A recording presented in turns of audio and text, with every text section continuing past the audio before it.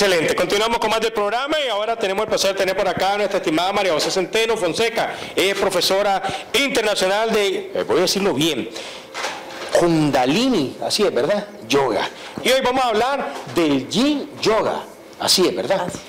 Mi estimada María José, ¿qué es esto? Comentanos. La vez pasada nos acompañaste y nos hiciste una excelente demostración ah, y donde hablamos de, desde la respiración, desde lo que es el hecho que esto cómo cambia tu día a día. Ahora danos qué es el Yin Yoga, por favor.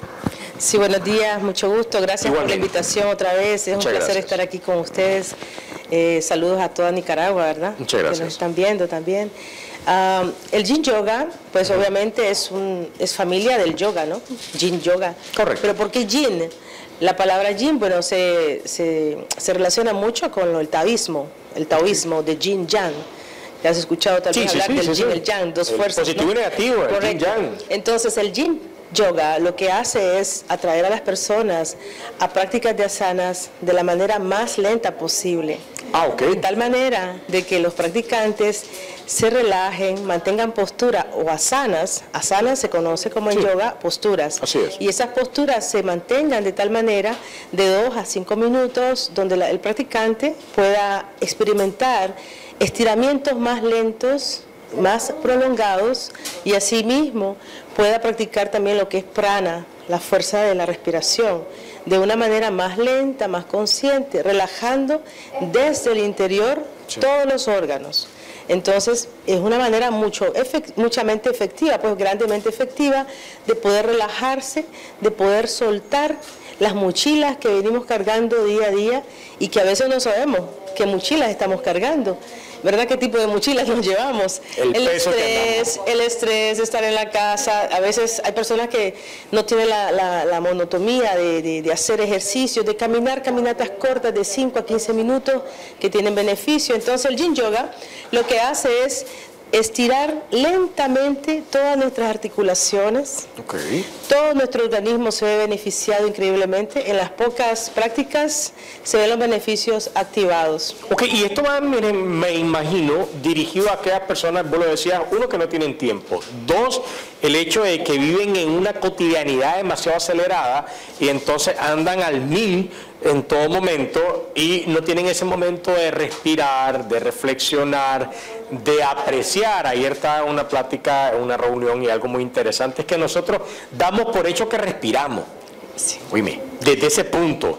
Pero no sabemos si el Dios Supremo, desde la religión que usted lo vea, decide quitar el oxígeno el día de hoy.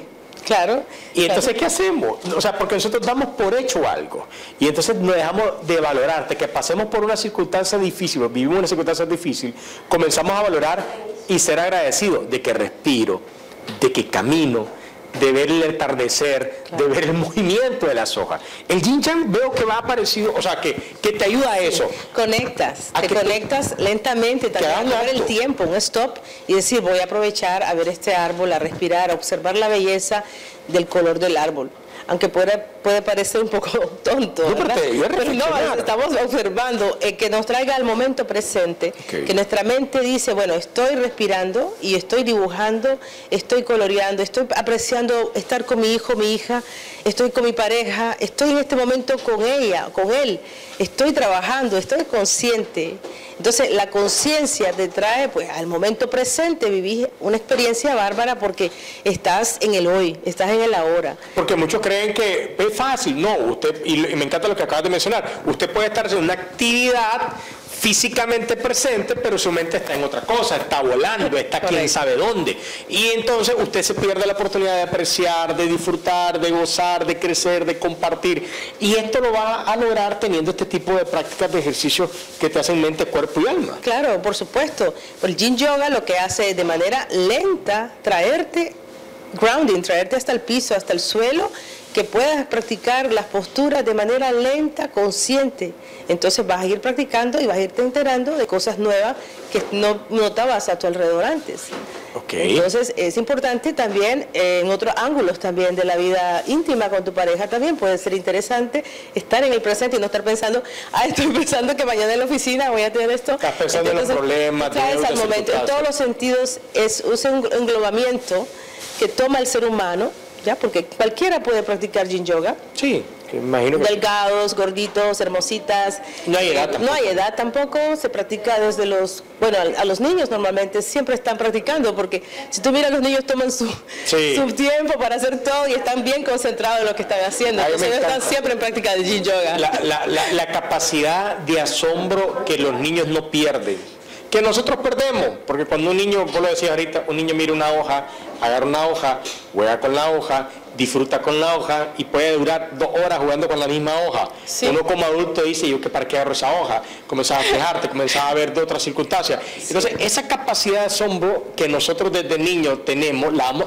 perdiendo por cuando crecemos. Y con ahí, diferentes ahí has dado un- una, una- una llave pequeña, es no perder nuestro niño interior. Así es. Entonces, si mantienes tu niño interior feliz, contento, ¿qué te puede detener para seguir en, en el día a día? Mira, entonces esto para, para hacer un, un resumen, cualquier persona puede hacer el yin yoga. Por supuesto que pueden hacer. No hay edad para ello. No hay edad, salvo, y tampoco salvo- estado físico. ni estados físicos. O sea, cuando me dices estados físicos, si están en, en el pos- posquirúrgico o una hernia discal que se operó, obviamente hay una, unas reglas que seguimos eh, para poder Sí, para ofrecerle un mejor servicio. Pero claro que estas personas salen con mucho más beneficio porque son ejercicios mucho más lentos que los otros tipos de yoga, por ejemplo Kundalini, que es bastante intensivo, Hatha Yoga, Vishansa, eh, Ashtanga. Entonces, estos yogas son un poco más activos, más, más, ah, más, ah, por decirte, más, más calientes, más para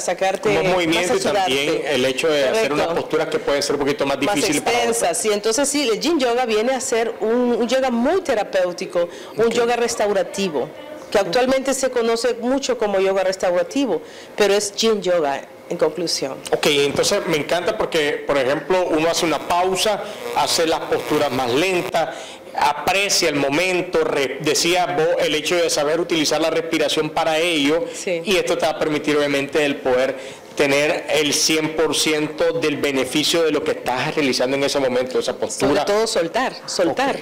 Y los poros se van abriendo y vas sacando todo el estrés del día a día.